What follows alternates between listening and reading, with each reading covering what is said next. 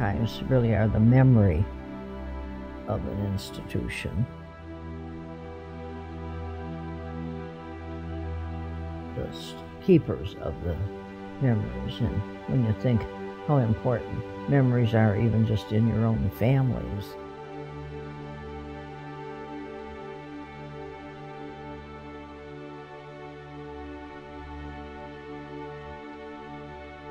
legacy and the and the mission. How does that mission continue in this day and age?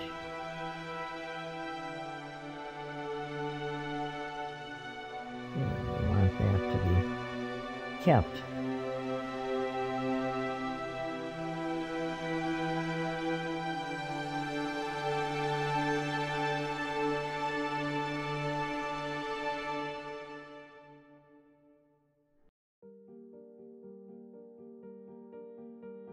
Think one of the phrases that means so much to me is that the person in front of you, without a doubt, is really God in front of you.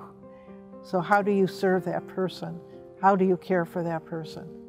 So, in all things charity, our life is geared towards loving God and loving our neighbor. That's the charism of the Sisters of Charity of St. Augustine. I was actually a pharmacy technician for two years. I was still in high school. It was a job that I had while being in high school. And uh, so I went to high school, and then that, at night I'd come and work in the pharmacy at St. Vincent's. The sister that I worked with, who was director of pharmacy, Sister Muriel, uh, she and I locked up the pharmacy. And in doing that, there were two doors, and you could see them today at the hospital. We would probably which would have taken us five minutes to conclude, we did in probably 20 minutes because we shared at that time about what religious life was about and uh, my own personal story and how uh, I might be attracted to religious life.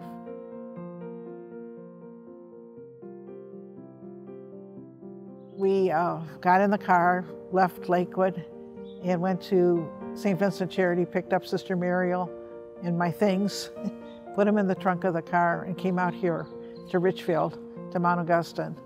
And I entered the congregation. Sister Muriel was right with me. She was a model for me of living religious life, being at peace with living religious life. And at the end, uh, really understanding God was calling her home. So I owe a lot to her. I owe a lot to her. Our Constitution says without a doubt that our charism, love of God, in all things charity, that really compels us to be of service to people. It is, you know, the greatest commandment love God and then your neighbor. That is really what we're about and what charity means for us. It means that in all things we're doing, it's about our love of God and our ability to continue in a very visible way by how we serve people showing that love of our community and each one of us, each one of us, to really love God and have that manifested in all that we do. What does ministry mean to us? It means responding to the people that we serve, responding to the people that we serve. And it takes on so much, so many different forms in how we have responded, how our religious life is lived, how we care for people, what has happened in healthcare, if you look at the history of how healthcare was provided, for those who, you know, the rich, it was provided in their homes. For those who did not, may not have had access to healthcare, it was founded in hospitals. And when I look at our foundations, and all they're about is responding to the needs of the people that we serve, and the communities that we serve. And wasn't it wonderful that we were able to do that and be about systemic change? We can't do it all but we're doing, you know, what God has called us to do. And we're doing it in collaboration with others. And collaboration is an important, very important um, value that we have. You know, one of our sisters, Sister Mary Patricia Barrett, said, you know, we've never done it alone. And we have never done it alone. We have never done it alone. You look at the readings of Vatican II, uh, which was a major, major uh, uh, event in the Catholic Church. And Vatican II called upon the giftedness of the laity to be about church, to be about giving life to the church. And I know uh, when we did uh, first added lay people to our boards, and when we first developed the public juridic person, which was lay people joining the sisters, the highest level in governance of the, of the ministries, that people said, oh, we don't have enough nuns. We don't have enough nuns. Yes, our numbers are diminished, no question, no question about that. But the lay people really take their rightful place with us, partner to partner, people that love God in their life, no matter what their faith dimension is, but love God in their life and really come, come and dedicate themselves to the mission of who we are and God's love for us. So we have just wonderful people that have been right with us and really caring for God's people and really uh, taking risks. We talk about risks. They've taken a lot of risks. And you know, what, what is compelling is sometimes decision making that we make may not be the most profitable because we reflect also on the mission. This is fulfill our mission. And we may have to step back and take some risk, but inappropriately, our business acumen moves us to manage the risk so that we could serve God's people. Our call for ministry is really about serving a person in need that that's most important. That whether it's, and it's a holistic approach to it, whether it's someone spiritually suffering, someone that has needs physically, whether someone has emotional needs, that's important, social needs. It's responding to the needs of the people that God brings into our life. And that's been our history. That has truly been our history of the Sisters of Charity of St. Augustine.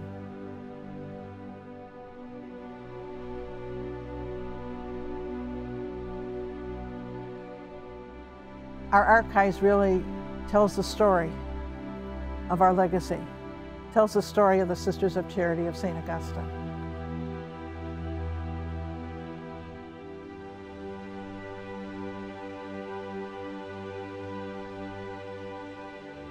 Sister Mary Dennis is a certified archivist.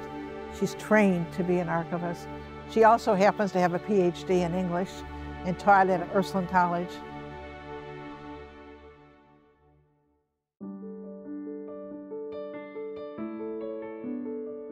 photographs, printed documentation, diagrams, newspaper clippings related to any of the institutions that our sisters work at or have worked at in the past. Your memory is an important thing. You lose your memory and you lose your whole self. I mean, when you think about people who have serious Alzheimer's or things like that, that loss of memory is really a very devastating thing. And so the, you know, to preserve the memory of you and your family and your grandparents and your, you know, came over on the boat or something like that. You know, I mean, there's, are there stories that are in people's family? Well, we're a family like other families and those things are, you know, you you remember those things and think, boy, I better shape up and, you know, do the right thing here. I mean, that was always part of a young sister's training. I can remember uh, it was Sister DeSales uh, in my day, and she would cry as she told the stories about some of the sisters and what they did, you know. I mean, it became a joke, quote, among the young nuns, but I mean, it really, when you look back on it, it wasn't because she knew the people personally.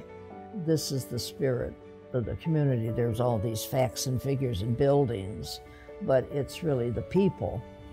Uh, and uh, sense of trying to stay in that same spirit of supporting needs, you know, the old saying of St. Augustine there in essential things unity, in doubtful things liberty, but in all things charity. So it's a sense of you know, having the ability to discern what's needed and then, you know, get up and get off your duff and get going and doing something about it.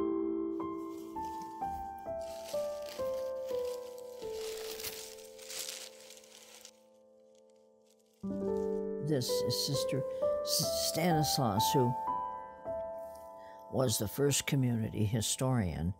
And uh, there are newspaper clippings um, also that are added in here.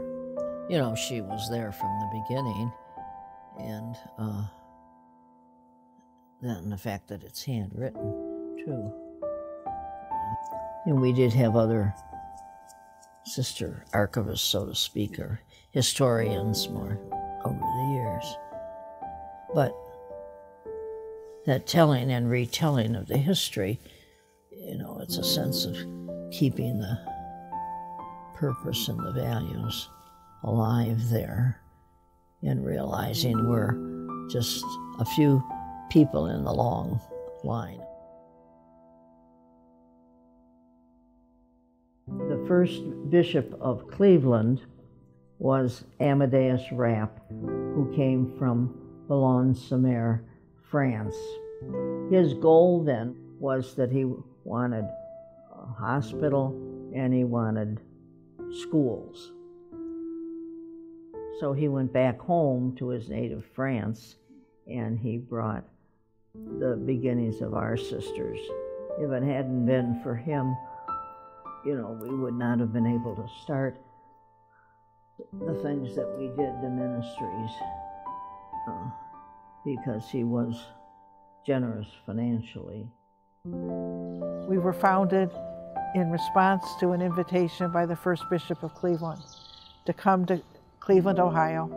And he was the first Bishop of Cleveland, so you can understand in 1851 how things were, were, you know, we were coming as pioneers, really, and how the people were all pioneers at the time. But he brought the Ursuline Sisters of Cleveland to come in 1850 to uh, begin Catholic education. And we came the next year, all from the same town in France, where Bishop Amadeus Rappe had been in ministry, his priesthood. Well, he just went back to his hometown and said, okay, young ladies, come with me to the new world. They thought they were coming to this country to convert the Indians. I always say that uh, they didn't know what what they were getting into. This is the boat that the nuns sailed in from France. If you think about sailing across the Atlantic in that boat, wasn't exactly the Queen Mary. They landed in New York and then uh, took a train to Cleveland. The forerunners of our sisters were called Augustinians primarily because they followed the rule of St. Augustine, which is a printed letter that Augustine wrote to some women on how to serve God country and mankind and so forth. The sisters, because they knew not only were they coming to start, uh, you know, this hospital, um, they knew that they would have a chapel with the hospital, and so they brought with them actually all these items on the bottom shelf here. But they brought um, a sanctuary lamp, they brought candlesticks, the chalices, the other church items. And they also brought, because they were going to have a hospital and would have sick patients, they brought bolts of fabric for bandages and for sheets and things like that. Now, in those days, uh, if you brought full bolts of fabric, well, you paid duty on it. However, the wily nuns, um, they cut the bolts of material into individual pieces of fabric and wrapped those items in it so they didn't pay duty on the thing, which I think was very clever and businesslike of them. Well, there were four women that came. Two were professed. They were they made their vows and they were kind of uh, veterans being religious. And one was the superior of the hospital, St. Louis Hospital, and another professed sister. But the other two were in formation. They were learning how to be a sister. And uh, they came with, the four of them uh, came by boat to uh, the United States. And uh, the bishop didn't have a house for them when they got, finally got to Cleveland in October. So that was a huge risk. It was a huge risk. And immediately our sisters started providing uh, health care to people in their homes. You know, first public health nurses in the city of Cleveland. We did that immediately in 1851. The two young women, yes, were young and they, but they stayed in America. They didn't, the French ones went back, but you know, after you've seen Gay Paree, why would you stay in Cleveland, Ohio, if you had a chance to go back? They did whatever it took to be able to sustain a mission that they were doing, a ministry that they were doing to people in need. And the environment was so harsh for the uh, two professed sisters they had very significant difficulty with the language, very significant difficulty with everything about this pioneer country. They were pioneers in this country when you think about it. So they asked, they petitioned to come back, go back home to Boulogne-sur-Mer. And of course, the bishop didn't want to hear that, but in 1852, they went back home to Boulogne-sur-Mer.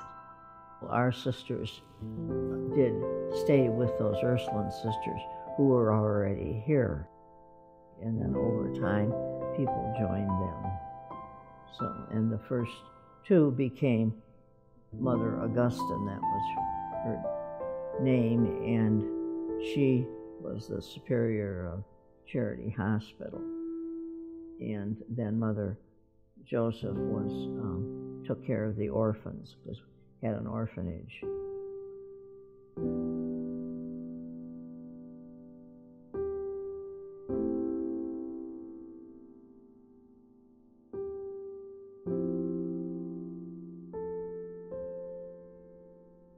Well, she, as a young woman, had helped out Bishop Rappe when he was doing his going around from farmhouse to farmhouse. Then joined up with the Ursulines. That was Ursula Bissonette from the Sandusky Way.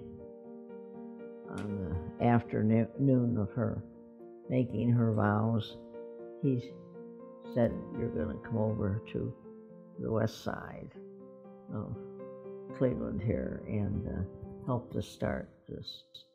Because she, she said always, because she wanted to be a sister of charity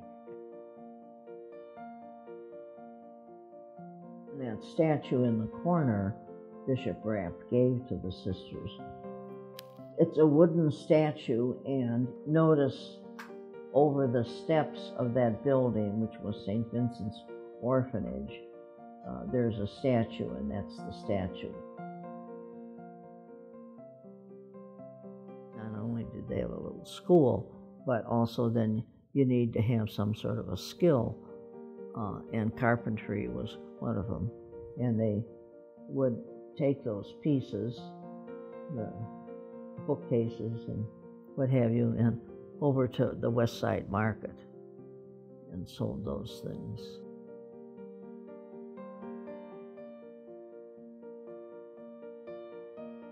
The desk, well, that was Mother Ursula's desk. That was obviously saved over time and handed down from one superior to the other. The bishop, actually, of the time, uh, is the one that gave the motto to the sisters in all things charity. You see two fleur de lis, and that represents the French background. And then that crescent is kind of like the New World.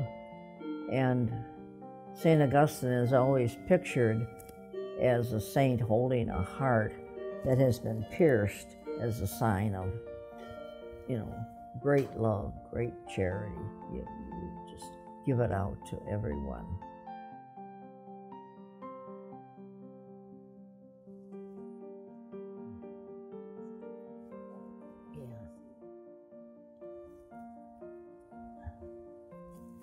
As you can see, it is old and the ink is quite faded in there. But one thing it seems like several of the early sisters were quite intent upon wanting to capture the history and you know keep a record of what they did and who helped support them and sister stanislaus history is one that one of the early sisters started to write and some of those other books are interesting because they give the cost of things at the time and who gave them money to help them out.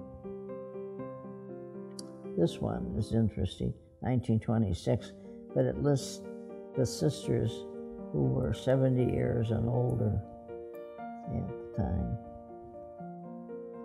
Not the very first founding sisters, but these were others, ones that came early on. At your final profession, you, you had your picture taken. I mean, um, uh, by a photographer, you know, not just a little old brownie, but a real photographer. And you can see here, so this is uh, very valuable because when people ask about Sister so and so or whatever, who was their great aunt or whatever, then, you know, you can always. Uh, pictures are kind of interesting to look at. So these are the, you know, from the early days, but it is amazing how many times you do get these calls from people and then then they want to know you know are there any pictures of where they were like they worked at Parmadale and do a picture from there with the kids or something like that. Mm-hmm. There was a gentleman down in Columbia, South Carolina, Columbia, the capital, and his wife were out in California. She got sick and was taken to a hospital out there, and it was a Catholic hospital, and she got this excellent care and so forth. He came back to Columbia and said to some of the hierarchy there, you know, we should have a hospital, Catholic hospital in Columbia now. Question was, where are we going to, you know, we want a Catholic hospital, we're going to get some nuns to do it. They came to the Sisters of Charity and proposed this idea of a hospital down there. And of course, in those days, going to South Carolina was like from Cleveland was like, you know, going to Africa or something like that.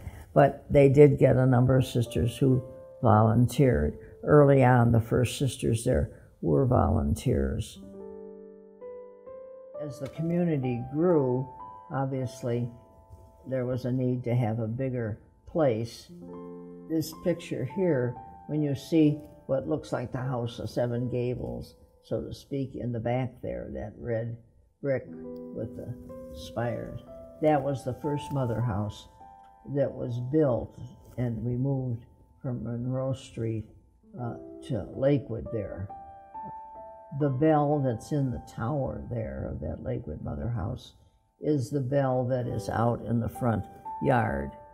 When you were a young nun and you were the bell ringer, which meant you had to get everybody up and awake at 6.30 in the morning, which you did, and got everybody up. And there's a picture here of the, the side of what it looked like.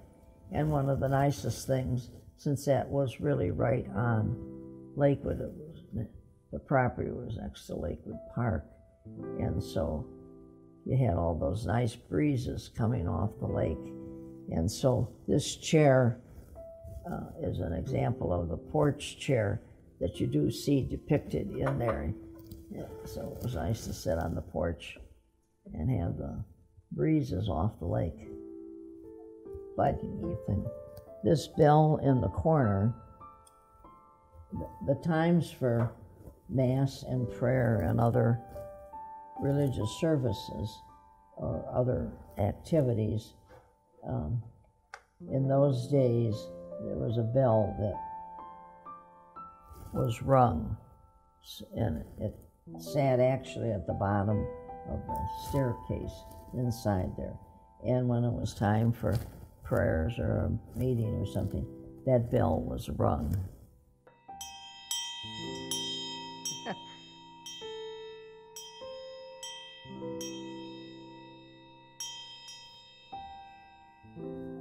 but even that mother house in Lakewood began to have some uh, difficulties, and the Lakewood Fire Department felt there was not enough, you know, exits and that sort of thing, so that in case of some sort of a fire or something, so they began, the community then began to look for other property or a place to build. One day, uh, one of the men who was our driver was driving and saw this big farm for sale, the Newton Farm. And at that time, we had the hospitals in Cleveland, Charity, and St. John's, and St. Anne's. And we also had uh, St. Thomas Hospital in Akron and Mercy Hospital in Canton. The property is kind of midway between all those places, and so it would be very handy.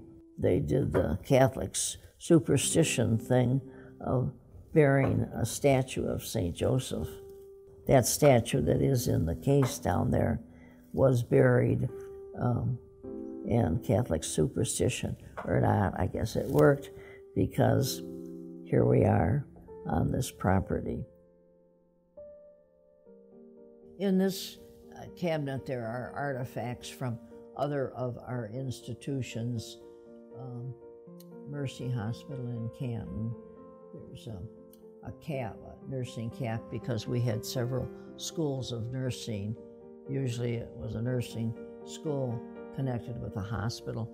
Charity had a school of nursing, St. John's had a school of nursing, and uh, Mercy Hospital had a school of nursing. And so there are the nursing caps and pins. Well, I think that's been part of the community from the beginning.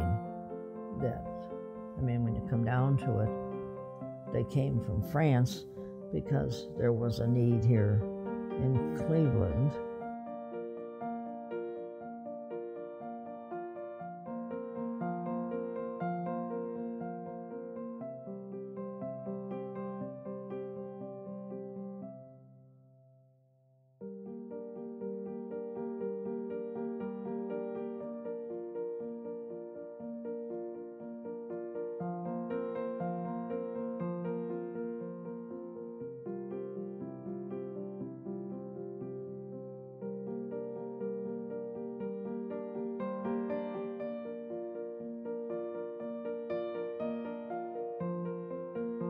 risk taking, obviously encouraged, is one of our core values of we as a congregation, Sisters of Charity of St. Augustine. And from the very beginning, when our sisters were invited to begin Catholic health care in the Diocese of Cleveland, the young Diocese of Cleveland, that was certainly a risk. And then moving into starting a hospital, needs of orphans become more prevalent. Those are all signs of risk taking. You know, we could look at um, Sister Ignatia and working with Dr. Bob and Bill W. in really assisting the alcoholics, the suffering alcoholic, and being able to um, serve and begin AA. Then we can look at uh, Sister Henrietta Gorris, who went into, in the midst of the uh, Hough riots in the city of Cleveland, went into uh, the Hough area and began helping people, really uh, help them take care of their homes, provide nutritious meals for their families. All of that is risk taking. You know, and each one of our sisters, living or deceased, no matter what they did in ministry, there always was taking risks. And uh, we founded our, our health system. And our foundations were part of that in 1996 when we were focused on systemic change and went to each of the communities that we serve, Cleveland, Canton, and South Carolina, and said, what are your needs? And then in a, in a process of systemic grant making, partnered with others. And some were risky ventures of partnerships that we had to walk away from at certain points. But to invest in really meeting the needs of the community that we serve, specific needs that were critical for the people.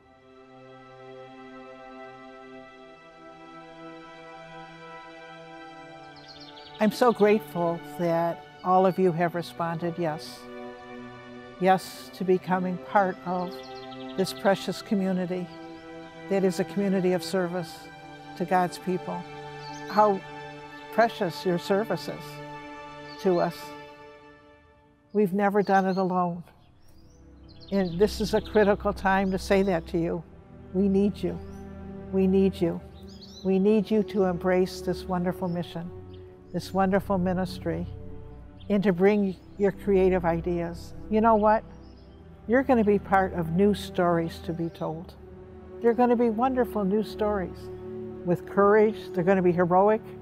And some of the stories that we tell are of new ways of serving the homeless, new ways of being able to uh, care for children and making sure that children are the healthiest they can be, care for the elderly, all the things that we do, and care for those who are physically uh, in need of healing. All that we're doing, our dedication to healing. You're going to have new stories to tell, and we're going to be so proud, so proud. How could we not be?